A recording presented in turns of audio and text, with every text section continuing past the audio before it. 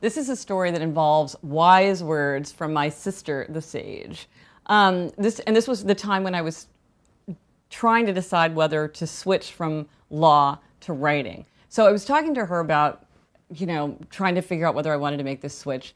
And I said to her, "What the thing is, you know, I really want to feel legitimate. And I feel if, if, if I were working in something like politics or finance or law, then I would feel highly legitimate. And I expected her to say something like, well, writing is legitimate, or you can always change your mind if you don't like it. But she knows me far too well. She said, look, you've always had this desire for legitimacy. Do you feel legitimate right now?